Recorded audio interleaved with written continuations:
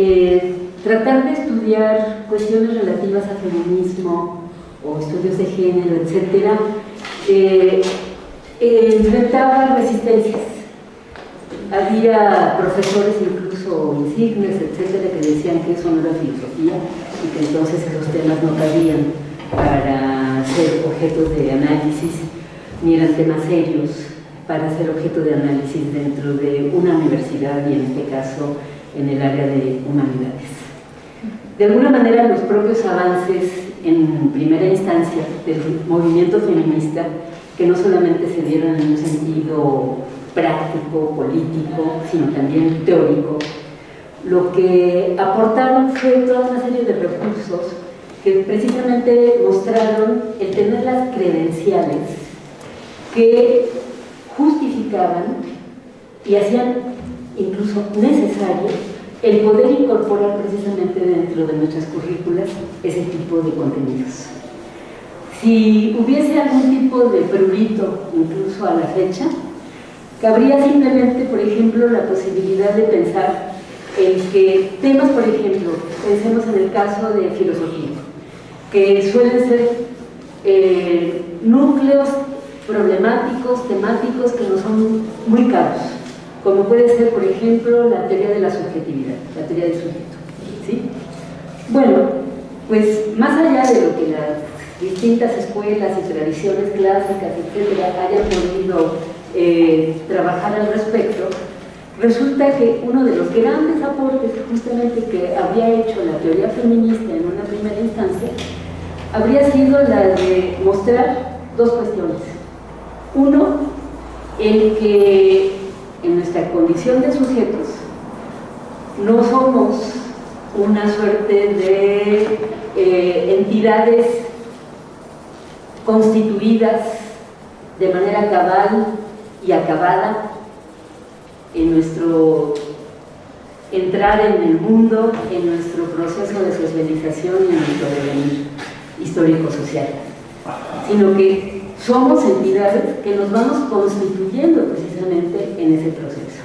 Sí, pero no una constitución abstracta, neutra, que nos permita simplemente hablar de sujetos, sin más, sino sujetos con marcajes genéricos. O sea, de alguna manera mostrar, incluso si nos quedamos en el campo filosófico, que es menester incluso en el ámbito de lo que podrían ser la investigación en el campo de la ontología, que se trata de nuevos ejes de análisis como es el de una ontología situada. ¿Qué quiere decir eso? Que nosotros no podemos pensar la constitución de la subjetividad si no es de manera contextualizada. Y dentro de esa contextualización, si no asumimos que hay un marcaje genérico como uno de tantos, pero uno por demás central relevante. ¿sí?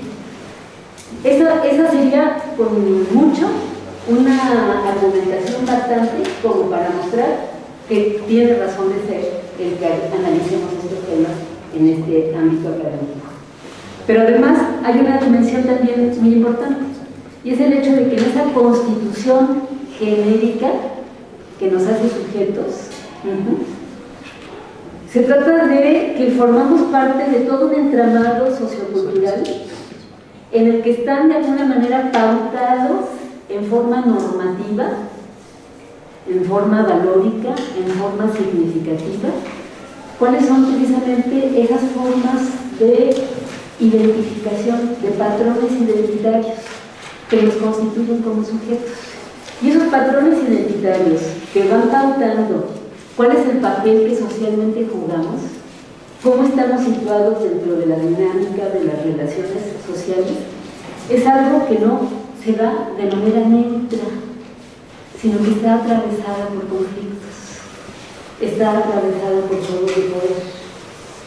Y eso da lugar a una serie de construcciones culturales de las que nosotros formamos parte, en la que nosotros mismos estamos experimentando, vivenciando no solamente lo que pueden ser esos referentes significativos con los cuales nos identificamos y le damos un determinado cariz a nuestra existencia, a nuestros afectos, a nuestros proyectos, etc., sino que además estamos inmersos dentro de esa conflictualidad. Una conflictualidad, unos juegos de poder en los que, dependiendo del lugar en que estemos situados, es, por así decirlo, en la lotería de la vida, la suerte que nos toca jugar. Y dentro de ese entramado sociocultural, que es el del sistema sexo-género, hay una articulación sistemáticamente asimétrica, desigual, injusta. Porque típicamente se trata de un tipo de construcción sociocultural que marca de manera hegemónica una heteronorma. ¿Qué quiere decir esto? Una concepción en donde las únicas identidades sexogenéticas válidas son la de ser hombre o ser mujer. Y dentro de ese orden binario, quien tiene una posición ventajosa es quien es portador de la masculinidad. Y ese tipo de constructo hace que todos los demás sectores y personas estemos en una posición desventajosa, sea en nuestra calidad de mujeres, o sea en calidad de homosexuales, o sea en calidad de transgénero, y podríamos seguir con la lista que típicamente se utiliza justamente para referirse a toda esa diversidad sexogenética. Entonces, de alguna forma, con lo que nos venimos a encontrar es que si lo quisiéramos volver al punto con el que arranqué, a, vernos precisados a justificar en por qué estudiar estos temas, nos permitiría, tanto en el campo de la filosofía, por ejemplo, si nos interesa la ética o nos interesa la política o ambas, pues analizar esas relaciones de poder, esas relaciones de desigualdad, esas relaciones de injusticia. Pero si también estudiamos, por ejemplo, historia, pues es un tema de la mayor relevancia, porque en el propio campo de la historia, pues no solamente estas relaciones sociopolíticas, socioeconómicas, socioculturales, etcétera, son eje central del interés del historiador, sino que de alguna manera nos da la pauta justamente para analizar que incluso, no solamente a través de los propios procesos históricos, sino incluso de el registro en los anales de la historia en términos historiográficos, ahí nos volvemos a encontrar y a constatar cómo esa suerte de desigualdad genera exclusiones e injusticia epistémica. Porque entonces resulta que parece que los únicos que han hecho la historia son los varones. La participación de los otros sectores sociales, en este caso mujeres o integrantes de la diversidad sexogenérica, parecieran borradas de la historia. No solamente en términos protagónicos de tomar decisiones y participar en eventos de trascendencia, etcétera, sino incluso en términos de mínimamente en un sentido, podríamos decir, investigativo, pues la pregunta qué papel se estuvo jugando, qué papel estuvo jugando cualquiera de esos otros sectores. Y entonces aquí nos vamos a encontrar con que en términos políticos, en términos históricos, una de las cosas que nos importa, por ejemplo, tanto a filósofos como a historiadores, y a geógrafos, por supuesto, es el hecho de ¿Cuál es nuestro papel en calidad de agentes sociales? ¿Cómo incidimos, cómo intervenimos en crear precisamente este tipo de realidad de la que formamos parte? Y esa concepción de la agencia, de nuestra participación práctica, de la relevancia de nuestra intervención en esos procesos, etc., nos conlleva a dar cuenta de que también, más allá de planteamientos abstractos, especulativos, de lo que es la agencia y el papel, podríamos decir, destacado de la intervención humana en el curso del acontecer o cosas semejantes, se trata de intervenciones prácticas en la que como sujetos situados y sujetos con marcajes de distinto tipo, principalmente genéricos, pero también de clase, de raza, confesionales, ideológico-políticos, etc. Es la carga con la que nosotros vamos e intervenimos en el mundo y interactuamos entre nosotros. Entonces, una vez más nos encontramos con que en ese tipo de temas que dentro de nuestras disciplinas parecen ser tan significativos, nos permiten otro enfoque mucho más completo, mucho más enriquecedor, cuando justamente lo hacemos desde esta perspectiva de lo que es nuestra condición de sujetos, justamente, decía yo, con ese tipo de marcajes. Porque nos permite en determinado momento ir más a fondo en lo que es el cariz de los propios procesos, el por qué, de el por qué actuamos como actuamos, el por qué nos formamos expectativas o proyectos de determinado tipo, o el por qué intervenimos en muchas ocasiones, a veces de manera acertada, eh, productiva, y otras pues, a nivel de lo que podrían ser intervenciones fallidas que nos mantienen en esa posición desventajosa de la que eh, hemos, eh, nos ha conformado y nos mantiene precisamente en esa condición de injusticia y de desigualdad. Pero estos temas también son, por supuesto, de relevancia para la gente que, está en letras. ¿Por qué? Porque a final de cuentas toda la producción, podríamos decir, eh, literaria de distintos géneros, de lo que nos está dando cuenta precisamente con otro tipo de aproximación, otro tipo de enfoque, es cuál es la calidad de la vida que como seres humanos, como personas, nuestras interacciones sociales, nuestras relaciones y nuestros afectos, etcétera, están en juego. La literatura es otro canal también valiosísimo, riquísimo y disfrutable, a veces sufrible por las intensidades de las que nos da cuenta, pero que nos dan un panorama también muy profundo, que en algunas ocasiones a lo mejor los textos teóricos no siempre logramos darle como el, pulso para captar toda su, eh, eh, contenidos, su productividad. Y a través de la literatura muchas logramos tener una comprensión mucho más profunda y cabal de nuestra propia realidad. Y resulta que, tanto en términos de la propia producción literaria como a nivel del tipo de contenidos que ahí se vierten, pues es fundamental también tener este tipo de ejes de comprensión de cómo estamos situados justamente como protagonistas de esas historias, de esas narraciones, etc. Bueno, en ese sentido, y bueno, ya no hablemos de, gestión, etcétera, que está imbuido de manera inequívoca dentro de lo que serían en este caso algo que no nos es ajeno a las otras disciplinas, pero que en este caso es algo muy señalado, que es la posibilidad de producir un conocimiento implicado, como se llama actualmente.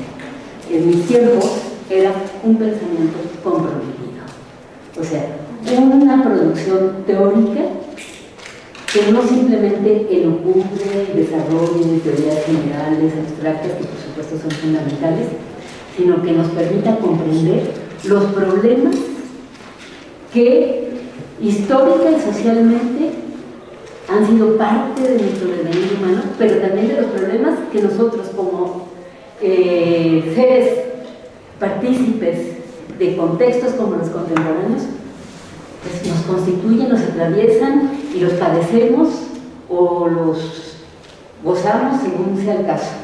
Bueno, entonces desde esta perspectiva, el avanzar en la investigación de temas como la teoría feminista, la teoría de género, viene a enriquecer de manera muy significativa algo que una vez más se sumaría a la lista de la justificación de por qué analizar estos temas en el ámbito académico. Porque la forma en que algunas de esas teorías han eh, interpretado, han avanzado, han explicado sobre cómo se construye justamente ese tipo de condición generalizada de los objetos sociales, nos da herramientas valiosísimas para poder configurar concepciones de lo social cómo se constituye lo social, no solamente cómo nos constituimos nosotros como individuos, sino cómo se constituye lo social en términos del tipo de organización, el tipo de dinámicas que se dan dentro de estas comunidades humanas. Y nos aporta toda una serie de elementos muy ricos justamente para poder avanzar en la comprensión, podríamos decir en este caso, insisto, de una concepción de lo social y una concepción de lo político. Entonces, el, alcance es riquísimo y por supuesto tiene repercusiones en cada una de esas áreas de las disciplinas que nosotros estudiamos. Tiene repercusiones en un sentido epistémico, tiene repercusiones en un sentido ético, en un sentido eh, político, pero también en términos de nuestra propia concepción de la cultura, en términos de nuestra propia concepción de cómo hacemos la historia. O sea, sus alcances son realmente interesantes y aportativos. Entonces vamos a procurar que en el análisis que vamos a hacer de los temas que elegimos estén ustedes en posibilidad de apreciar justamente ese tipo de, de aportes. Ahora bien, justamente en el entendido de que es fundamental entender que la producción de conocimiento en el campo de la teoría feminista y de la teoría de géneros es un tipo de teoría de carácter crítico. Y es una teoría de carácter crítico porque no se concreta, sin más, a dar una lectura interpretativa o explicativa o descriptiva de la realidad que vivimos. No. Justamente va de, suyo que en ese intento de comprensión se está haciendo un análisis, podríamos decir, crítico respecto a ese orden de cosas que nosotros mismos hemos construido y del cual formamos parte y contribuimos muchas veces en la mayor de las inconsciencias a reproducir. Entonces, visto desde ese, desde ese ángulo, lo que nosotros tendríamos que apreciar es, les estoy hablando como si se tratara de campos distantes, y no lo es, estoy hablando de teoría feminista y de teoría de género. Ahorita les explico por qué hago esta distinción. De arranque, lo que nosotros conocemos como la conformación del sujeto generalizado fue una preocupación del pensamiento feminista. Inserto dentro de lo que era ese esquema binario al que me refería hace un o sea, heterosexista. Lo que se analizaba de manera crítica desde muy temprano era precisamente esa relación de subordinación, de minusvalía a que se sometía de alguna manera a las mujeres, incluso regateándole su propia condición de personas, de sujetos racionales, de sujetos capaces de, capaces de autónomos, capaces de tomar sus propias decisiones, etc.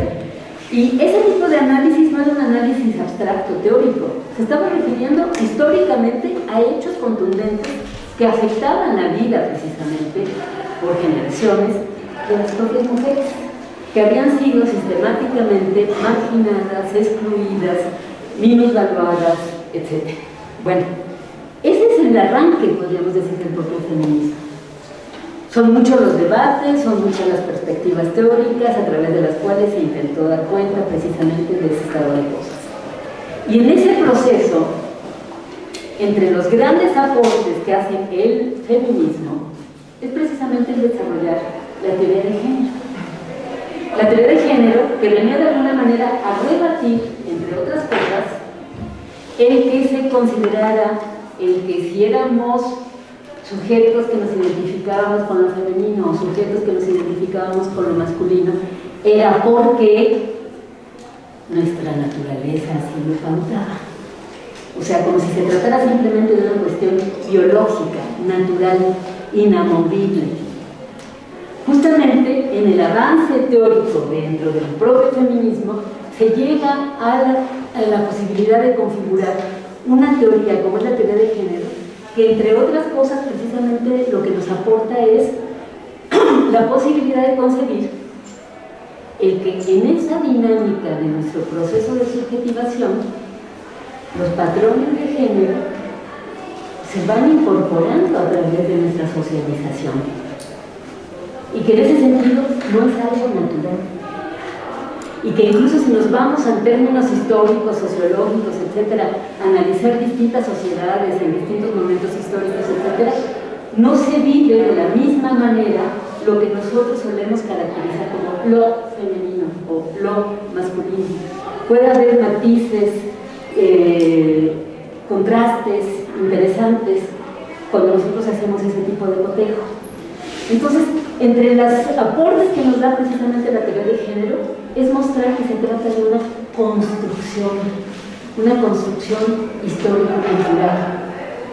Y una construcción histórico-cultural en la que están entreveradas pues, muchas otras condiciones históricas, acorde con las formas de organización social también.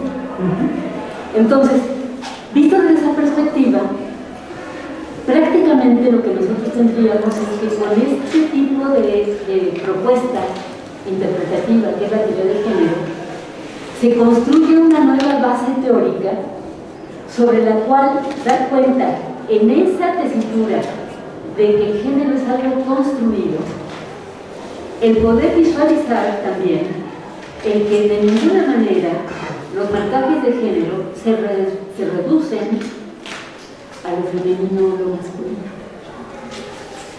Y es ese tipo de hallazgo el que hace posible que muchos otros sectores, como en este caso pueden ser los sectores de la diversidad sexogenérica, se apropien también de ese tipo de recurso teórico y contribuyan a su desarrollo y profundización, justamente para poder sustentar el que hay posibilidad de construcciones generalizadas múltiples y diversas.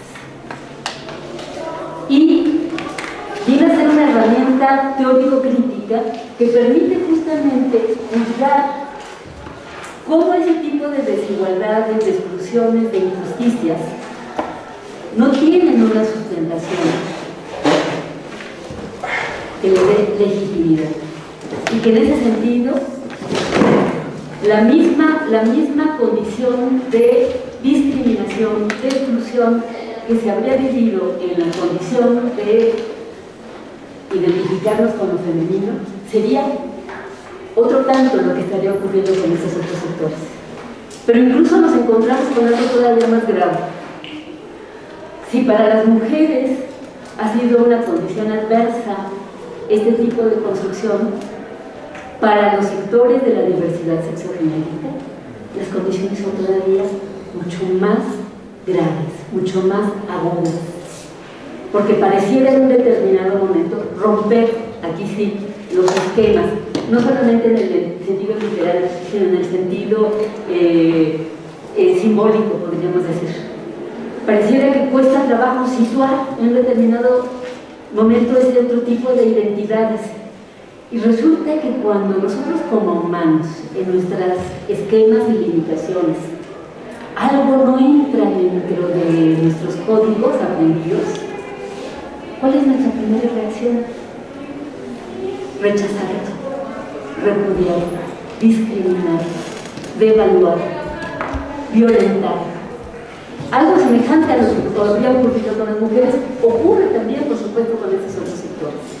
Entonces, es muy que nosotros hagamos un intento de aproximación a hacernos de recursos analíticos que nos permita justamente comprender no solo los aportes que teóricamente se han hecho al respecto, sino cómo de la mano con esos aportes teórico-analíticos y críticos estamos en posibilidad de configurar y construir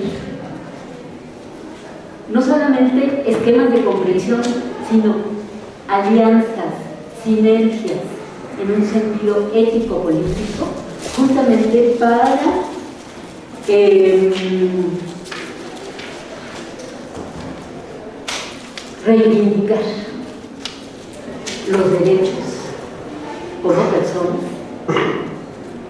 de todo sujeto de todo sujeto, de toda sujeto, ¿sí? Sin distinción de género. ¿Por qué se está haciendo la propuesta del programa que, ustedes ya eh, revisaron? Bueno, porque la universidad y nuestra facultad en particular son esta suerte de microcosmos que de alguna manera pone de manifiesto lo que son grandes problemáticas sociales que estamos viviendo cotidianamente en el mundo, en nuestro país, en nuestra ciudad y en nuestra universidad o en nuestras casas. ¿sí? Y que es precisamente cómo se juegan esas relaciones conflictivas de poder y de injusticia aunque muchas veces no verbalizado, por razón de género. Y lo que nosotros estamos viendo, por ejemplo, muchos de ustedes me dicen que están ya en octavo semestre. Saben de lo que les estoy hablando.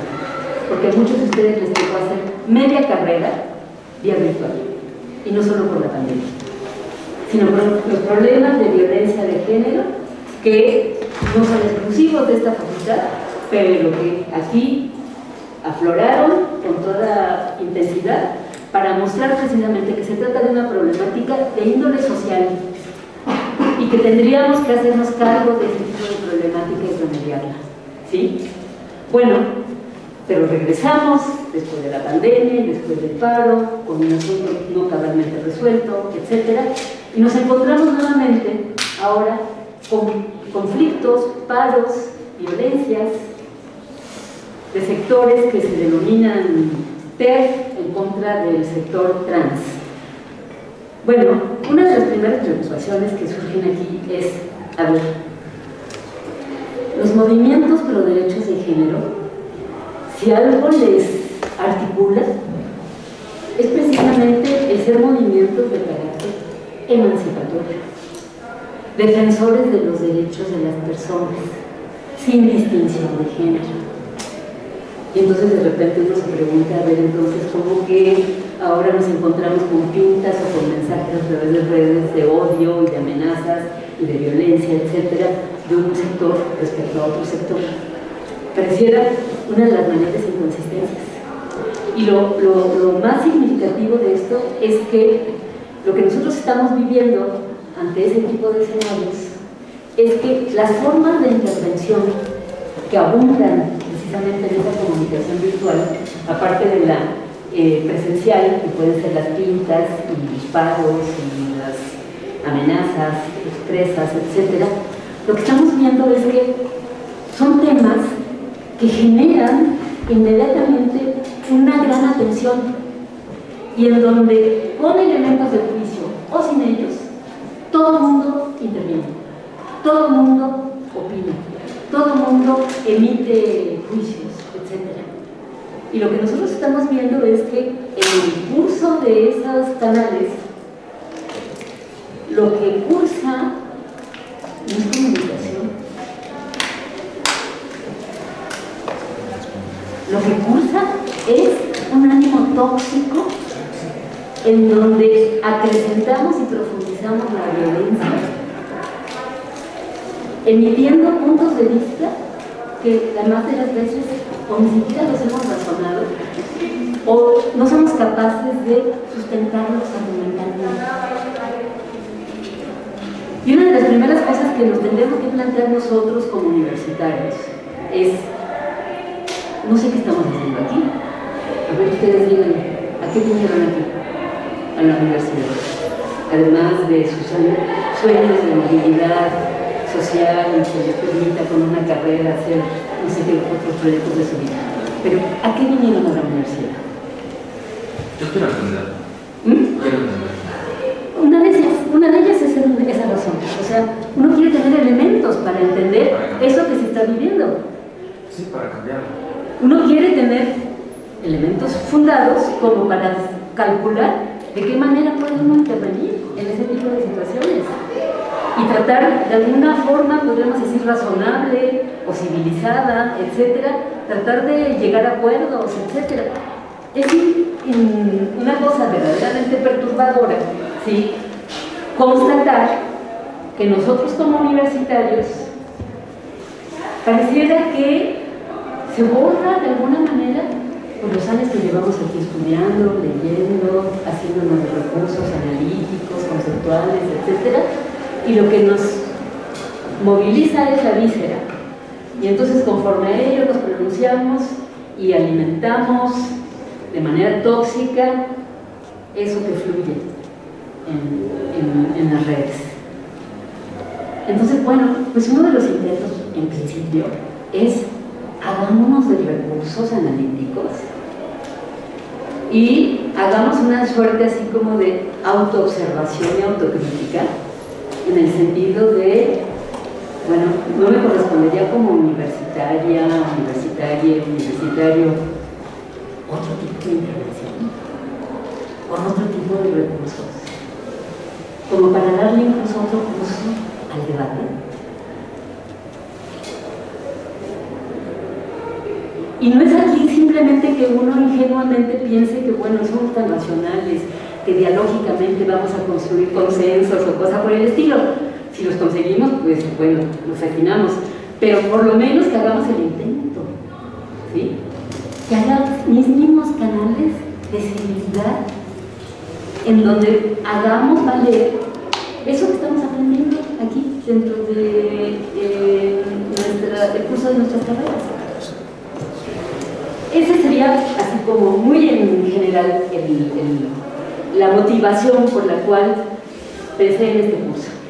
Lo compartí con varias colegas porque nos parecía fundamental el que no solamente quedara como una comunicación de nuestras preocupaciones, de nuestra alarma, etcétera, de lo que se estaba viviendo en nuestra facultad, no exclusivamente, por supuesto porque si uno se va a las estadísticas, a los reportes de criminalidad, etc., bueno, lo que nosotros vemos es algo abrumador. No solamente en términos de feminicidios, de crímenes de odio, de violaciones, de violencia eh, sexual de todo tipo, etcétera, en todos los espacios. Pero de alguna forma el propósito y aquí, pues a lo mejor podríamos decir que lo que nos sigue jalando es eso que aprendimos, que es el marco epistémico, cultural que hemos heredado y que aquí cultivamos en nuestra facultad. seguimos de alguna manera abrevando de ese horizonte eh, crítico, ilustrado, eh, con el ánimo de comprensión, de racionalización, de negociación, de civilidad. Puede ser un ideal, pero puede uno tenerlo también como marco referencial para tratar de contribuir de alguna manera a encarar este tipo de problemática en que estamos insertos. Ahora bien, a mí lo que me pareció importante y por ello en la forma en que se organiza el contenido del programa fue lo siguiente hay muchas posibilidades ante una problemática de acercarnos, de aproximarnos. Cabe perfectamente la posibilidad de que sin más nos metamos de lleno en lo que es el tono de los debates. Y de alguna manera allí con cierto tipo de recursos analíticos miramos, eso que les decía yo hace un momento, ¿eso que se está dando es comunicación o es simplemente toxicidad que de alguna manera parece responder incluso al, efecto incluso de este tipo de eh, códigos mediáticos que parecen incentivar precisamente esa respuesta pronta, esos contenidos no reflexionados, etc. Claro que todos esos elementos joven, sí, pero como, como lo planteaba yo hace unos días, cuando se dice, por ejemplo, que las redes sociales polarizan. Yo en eso coincidiría con Manuel Castel, que vino hace poco a recibir el honoris causa, que justamente en una entrevista decía, las redes no polarizan, la sociedad está polarizada. Y en todo caso las redes lo que hacen es exhibir esa polarización y incentivarla, por supuesto, justamente por ese tipo de medios tecnológicos ¿no? que se ponen allí en juego. Sí. Las incentivan algorítmicamente una red social está hecha para que estés más tiempo. O sea, quiere mostrarte publicaciones que te hagan quedarte más tiempo en la aplicación. Entonces, muchas veces ah, las dos emociones que más mueven al ser humano son la felicidad o el enojo. Entonces, o, te empiezan a publicar muchas cosas que te hacen enojar y que te hacen seguir ahí estando, o te empiezan a publicar muchas cosas. Y eso hace que, obviamente, tu feed de las redes sociales se convierta como en solamente aquellas cosas que te gustan o en aquellas cosas que detestas y termina por, sí, o sea, cerrarte. Claro, claro. Entonces, si bien es cierto que estoy totalmente de acuerdo con tu planteamiento, y si bien es cierto que este tipo de recurso tecnológico juega un papel central en nuestras vidas hoy por hoy, haríamos mal simplemente quedarnos, aunque hay especialistas en, estudios de comunicación y de eh, biología cerebral, etcétera, que se han ocupado de manera más profunda y tendrán todavía mucho campo allí por avanzar sobre cómo reaccionamos precisamente ante este tipo de recursos. Sí, pero haríamos mal si nosotros nos quedáramos simplemente con eso que es como lo visible. Lo visible en el sentido de, de qué recursos nos valemos y que juegan un papel tan importante en nuestros intercambios hoy día.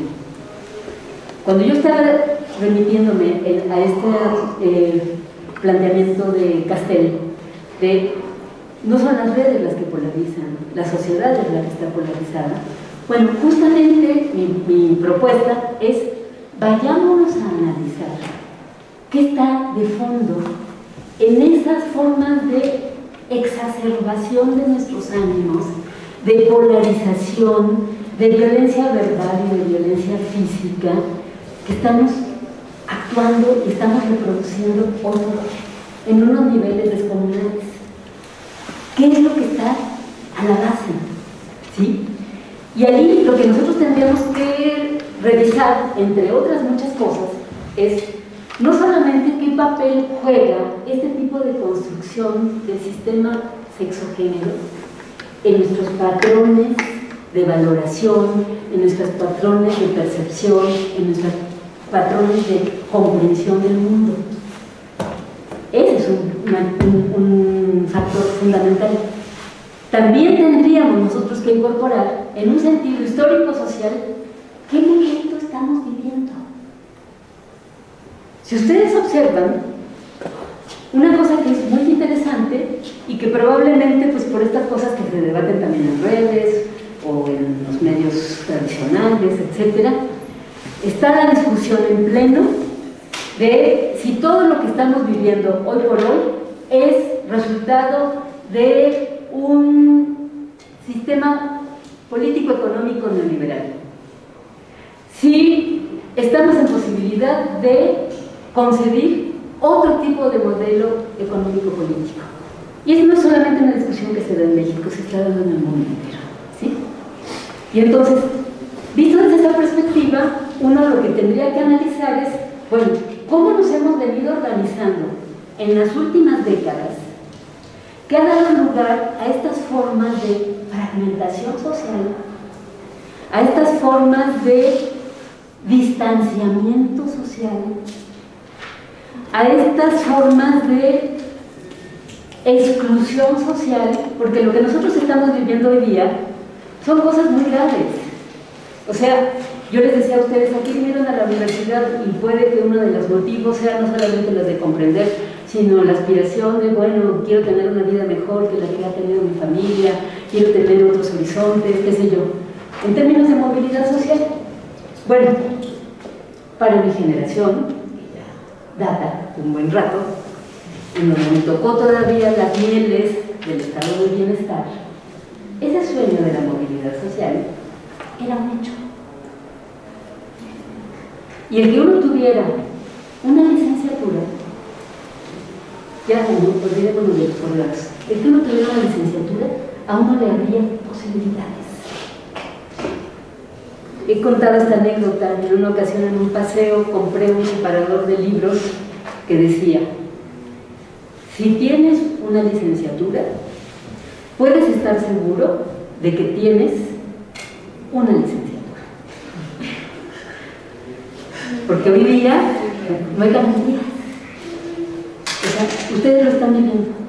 Están viviendo la precariedad, están viviendo la escasez, están viviendo los efectos precisamente de un mundo tan desigual, en donde como parte de ese tipo de entorno, pareciera que se incentivan precisamente estas formas de fragmentación social, estas formas de desencuentro, de irritación, de frustración, de conflictualidad constante y en sus formas ya más extremas de violencia, como las que vive un país como el nuestro.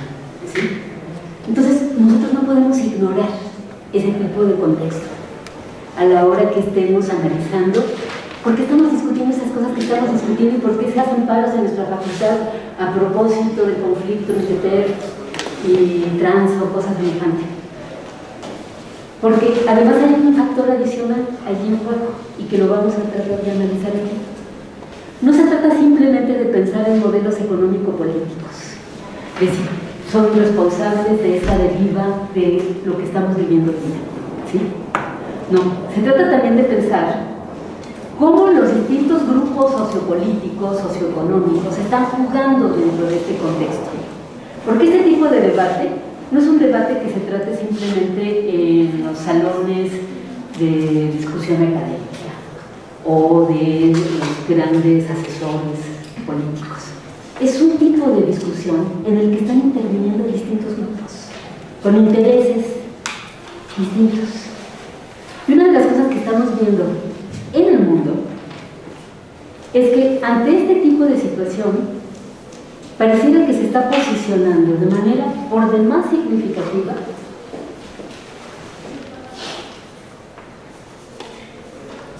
grupos de pensamiento ultraconservador que cada vez afianzan más sus pretensiones.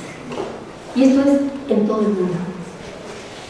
Puede haber países en donde esto se ha consolidado ya y se ha agudizado de manera verdaderamente crítica.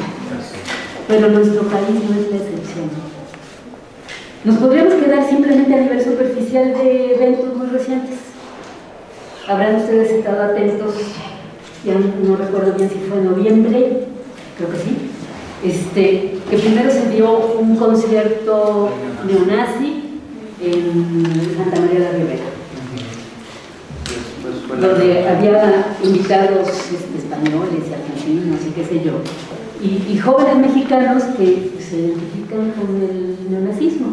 Bueno, pues así como en el argot se dice, prácticamente ese encuentro fue algo así como el grupo telonero para el otro evento que venía una semana después, que fue el del encuentro en un hotel en Santa Fe de grandes personalidades del mundo ultraconservador, entre los cuales de manera virtual, electrónica, se comunicaron Trump para felicitar a los organizadores del encuentro, Bannon, que fue su asesor, este, en su momento, el que ha recorrido el mundo para reforzar justamente este tipo de políticas ultraconservadoras, pero estaba, por ejemplo, entre invitados distinguidos el hijo de... de me acaba de ir el nombre del anterior presidente brasileño. Bolsonaro. Bolsonaro, sí, perdón. De Bolsonaro.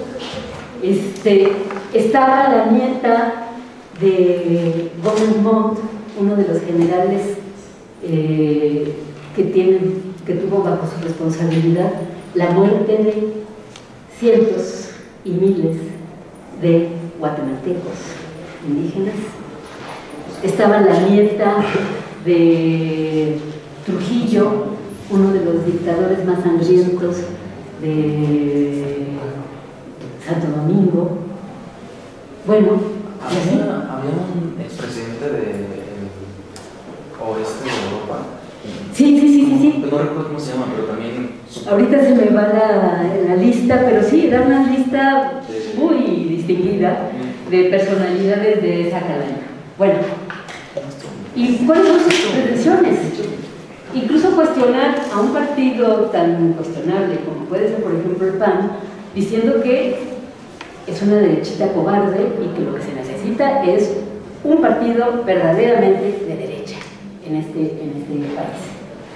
¿Y cuál es la agenda de este tipo de ideólogos? Bueno, pues de alguna manera volver a afianzar el modelo neoliberal, que sea el mercado que determine el curso de nuestra existencia.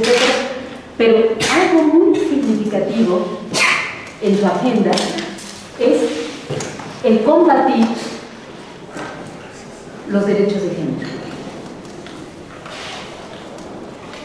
El enemigo a combatir no solamente son los logros que la causa feminista ha obtenido a lo largo de centurias, sino de combatir de manera fundamental a todos los sectores sexodiversos. Y aquí hay un punto muy interesante, que también ya tendremos más elementos para analizar en su momento. A propósito de esto que decíamos de las redes, etcétera, y de que efectivamente allí puede haber toda una serie de recursos en sentido tecnológico que incentivan cierto tipo de manejo de esos recursos y cierto tipo de respuestas, etc. Algo que es muy interesante, muy llamativo, es cómo todos los temas que tienen que ver con cuestiones sexogenéricas atrapan la gente. Todo el mundo tiene algo que opinar y de alguna manera lo que nosotros vemos es incluso cómo se vuelve el blanco que incentiva y agudiza la exacerbación, la violencia, que de alguna manera lo que estaría evidenciando como una suerte de síntoma es precisamente este tipo de políticas del cuerpo, que histórica y socialmente se han afianzado dentro de muchas culturas y cómo lo están capitalizando precisamente este tipo de grupos ultraconservadores. Bueno, aquí me voy a detener, porque uno de los objetivos es no solamente que entendamos todos esos elementos que están en el entorno, cómo se articulan con nuestros temas de género, sino que entendamos y tratemos de diagnosticar hasta qué punto algunos de nuestros debates no están en alguna medida siendo, haciendo eco precisamente de ese tipo de discursos tóxicos, disolventes, como son esos discursos ultraconservadores. Entonces, son como varios niveles en los que quisiera que avanzáramos.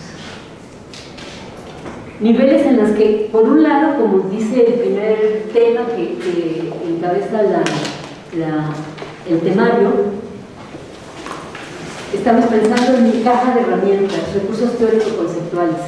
O sea, lo primero es, a ver, hagámonos de mínimos recursos conceptuales, incluso antes de entrar a las cuestiones de género. O sea, para todos ustedes, no solamente como universitarios, sino como ciudadanos de a pie, etcétera, sería importante entender qué es la tolerancia. ¿Cuál es el valor del reconocimiento? ¿Qué alcances tiene el derecho de libre expresión? Si hay la posibilidad de pensar en una ética y una política de la no violencia. ¿Y qué entendemos por pluralismo? En el sentido justamente, en lo que nuestras preocupaciones, de cómo podemos coexistir siendo diferentes. Bueno, se trata de que nos hagamos de mínimos elementos a ese y entonces entremos de alguna forma a analizar problemas que tienen que ver con esto que les estaba yo justamente ahorita comentando. Aquí de lo que se trataría es de que nosotros podamos de alguna manera analizar desde distintos registros cómo se construyen precisamente en un sentido histórico-cultural las desigualdades. Como dice el propio el título del, curso, de desigualdades, discriminación y estigmatizaciones. Es como si estuviésemos hablando en un sentido gradual de menos a más. O sea, cómo en el momento en que nosotros construimos desigualdades, estamos construyendo una plataforma que acaba justificando ese más, que en este caso puede ser el derecho que supuestamente yo eh, arbolo de excluir a otros, de devaluarlos, de estigmatizarlos en el sentido prácticamente de negarles su derecho a ser, su derecho a existir. Cómo eso se convierte incluso en la plataforma para justificar la violencia de distintos tipos para los que estuvieron en el curso de violencia con editor. Son violencias de distintos tipos las que se plasman en muchas intervenciones. Bueno, se trata justamente de que analicemos esto. Y entonces allí vamos a, revisar distintas formas precisamente a través de las cuales se dan este tipo de construcciones. Vamos a hacerlo desde una óptica religiosa, desde una óptica clasista, de género, de raza. Hablamos de racialización porque tiene mucho más alcance justamente el término en cuestiones de discriminación. Bueno, esa sería la, la, la, idea. ¿Qué lo tenemos?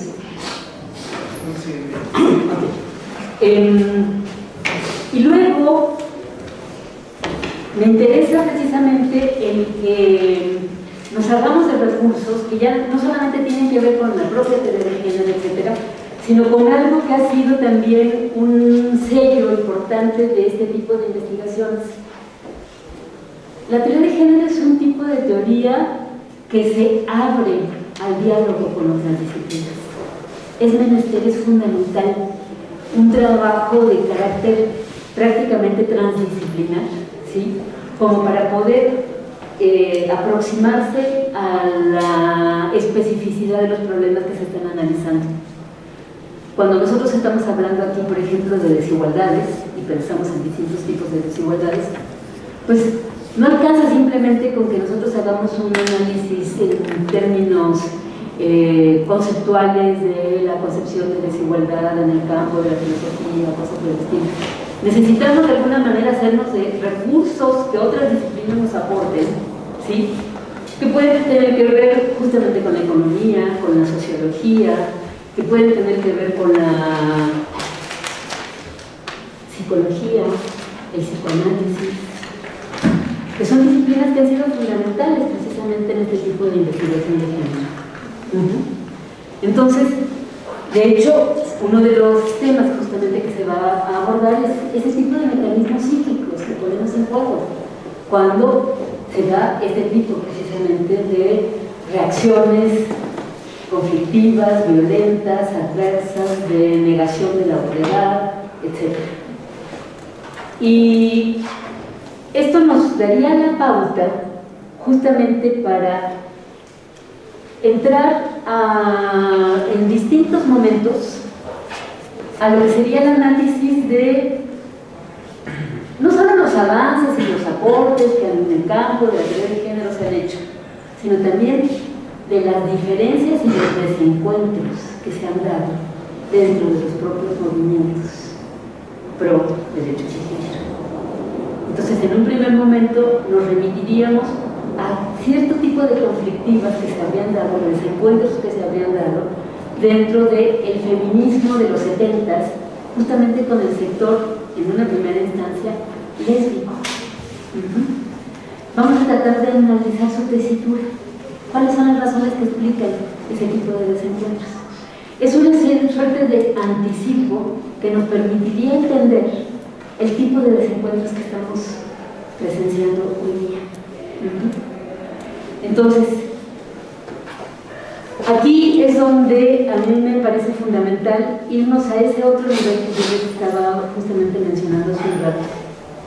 Analicemos el tipo de contexto sociopolítico que se está viviendo en nuestro momento y cómo ese contexto sociopolítico y los distintos actores en juego están contribuyendo de alguna manera e incluso están apropiándose y capitalizando precisamente este tipo de debates, este tipo de recursos analíticos para sustentar justamente sus causas antigénero.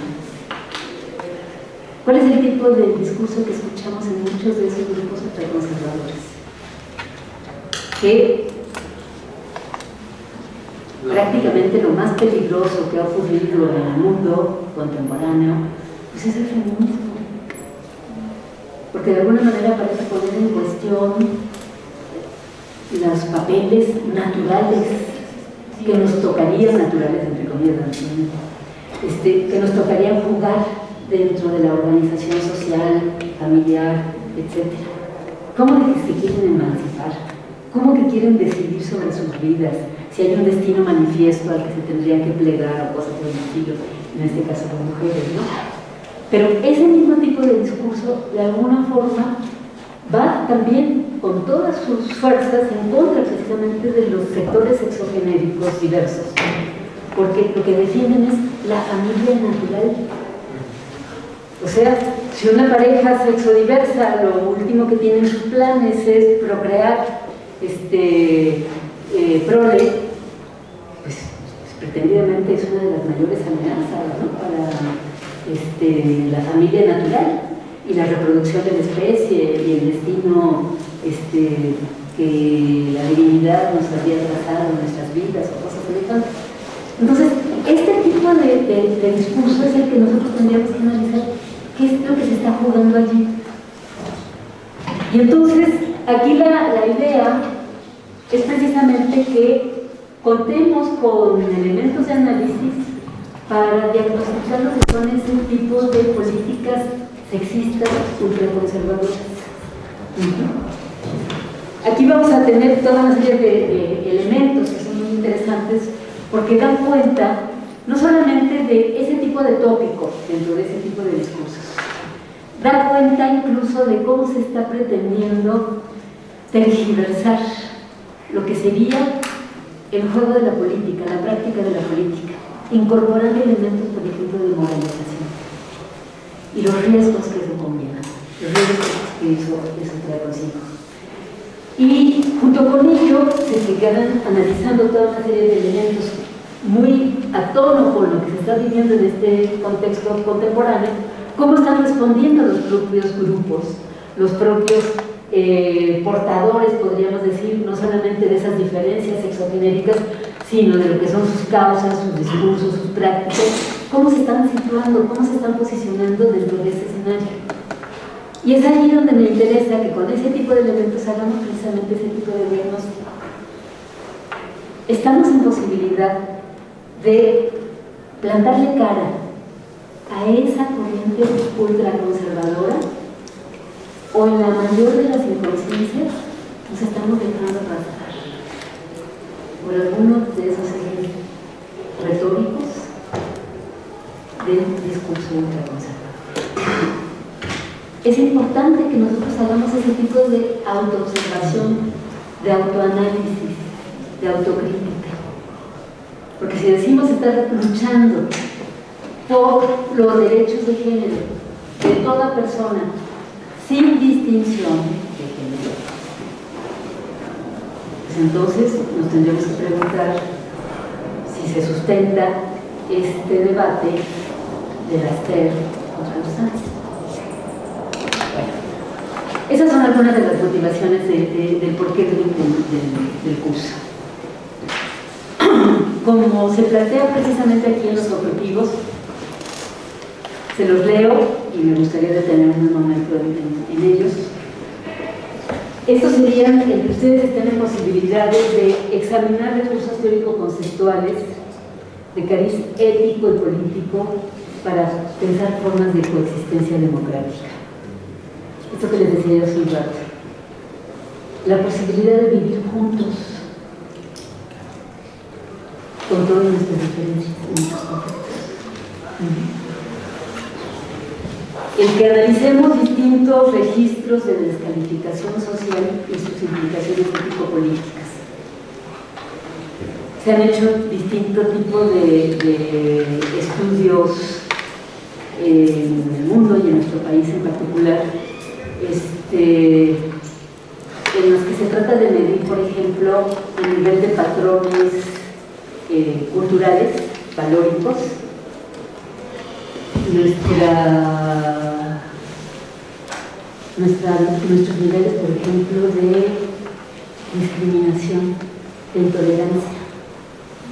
Y es verdaderamente para llorar el tipo de resultados que podemos nosotros constatar precisamente en ese tipo de encuestas.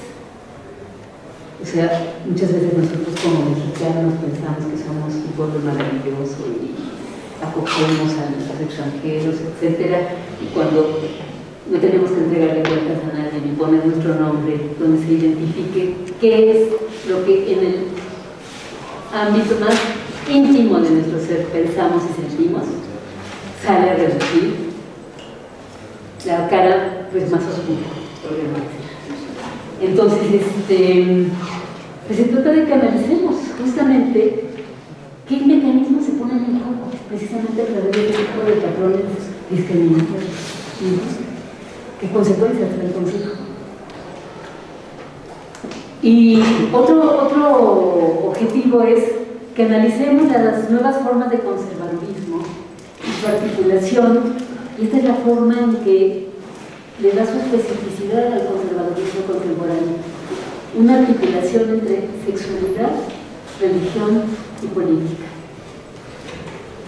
Hay un texto que me parece que tenemos en la lista de lecturas que ya les compartiremos, en donde el autor hace una pregunta muy, significativa, en donde dice, bueno, uno de los problemas más generalizados en el mundo hoy día sería la precariedad el desempleo, el que los sueldos cuando se tiene trabajo no alcanza para sobrevivir, etc.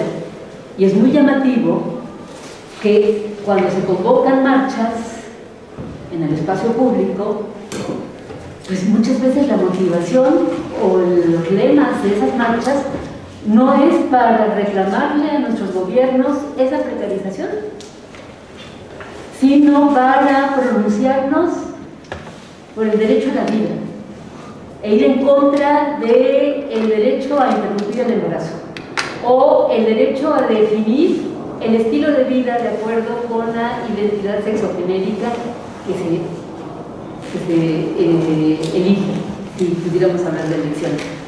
Luego lo discutimos. Bueno, parece que inflama los ánimos ese tipo de, de banderas cuando los problemas reales ahí siguen y parece que nadie se ocupa de ellos y nadie reclama al respecto. Entonces, bueno, ya nos tendríamos nosotros que preguntar qué papel está jugando esa articulación entre sexo, religión y política. Porque además hay cualquier cantidad de casos, tendríamos elementos para analizarlo en nuestro país, pero hay algunos que son prototípicos Pensemos, por ejemplo, en países como Brasil, en donde mayoritariamente la bancada legislativa brasileña es de pentecostales y entre cuyas eh, propósitos y agendas está combatir precisamente los derechos humanos. Entonces, es, es, es alarmante, es preocupante este tipo de, de tendencia que estamos viendo a nivel mundial. Y bueno, con base en ello, que sería el último objetivo, la posibilidad de que se cuenten con recursos analíticos para reflexionar sobre el cariz de los desencuentros actuales, como ya les mencionaba yo entre los movimientos por derechos de género. Entonces, como les decía hace un momento, no se trata simplemente de que analicemos cómo insultó X ayer, no, que tratemos en calidad de síntoma ese insulto y veamos qué es lo que subyace, qué es lo que está detrás, a qué se está respondiendo precisamente con este tipo de expresión. Y bueno, confiando en que ese tipo de elementos nos den recursos como para situarnos dentro de nuestro contexto, con muchas más armas, para poder tener intervenciones colectivas civilizadas, eventualmente democráticas. Esa sería la, razón de ser de este programa. Como les decía también, eh, vamos a contar con algunas invitadas, eh, ya en su momento se las presentaremos. Nuestra primera, nuestra primera invitada para la próxima sesión es la doctora Dorelina García. Eh, ella hace filosofía política, filosofía también de la ética y también tiene trabajo en el campo de, género. Ella va a tener a su cargo justamente la exposición sobre tolerancia e intolerancia. Eh, va a apoyarnos también en su momento la doctora Elizabeth Castro a propósito de estos temas de libertad de expresión y el valor del reconocimiento. Rosalba Martínez, que va a intervenir justamente con el tema de una ética y una política de la no violencia. Otra invitada va a ser la doctora Julieta Lizaola, que justamente ella se ha especializado en filosofía de la religión, entonces precisamente va a abordar el tema de los fundamentalistas.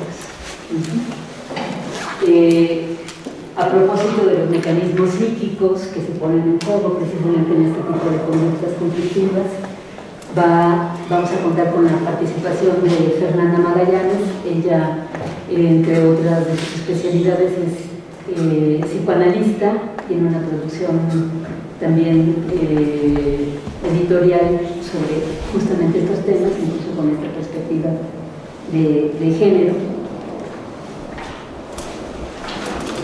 La sesión que les comentaba que va a ser virtual, porque no pudimos contar con su presencia, eh, va a ser de Sonia Correa, eh, que dialogará con Gloria Careaga, justamente sobre todos estos temas de las políticas ultraconservadoras que hoy prevalecen. En ambos casos son personas que tienen no solamente una actividad académica, sino que tienen una actividad de activismo, política, no solamente en términos de sus propios países de origen, etcétera, sino a nivel internacional. Han participado en foros y conferencias internacionales donde han tenido una representación o funciones de asesoría muy relevantes justamente sobre este tipo de políticas antigénero. Entonces va a ser muy interesante el diálogo que ellas sostengan y la posibilidad de que tengamos también interacción con, con, ellas mismas. La misma Gloria Careaga abundará luego en otra sesión sobre algunos de los temas que aquí nos ocuparán como pues precisamente estos tiempos adversos ¿no? para la agenda de derechos de las mujeres y de los sectores de la diversidad sexogenérica. Eh, está por confirmar la participación de Silvia Gil, que abordaría el tema del transfeminismo, justamente en un intento dentro de la propia teoría feminista de abrirse a esta interacción, esta alianza justamente con los grupos de la diversidad sexogenérica.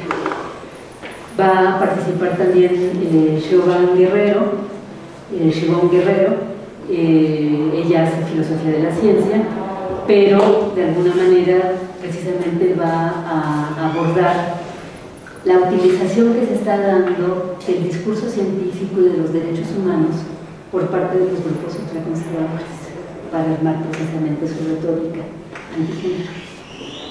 Eh, y bueno, en varios momentos vamos a participar Fernanda y yo también eh, abordando algunos de los temas del, del propio eh, programa.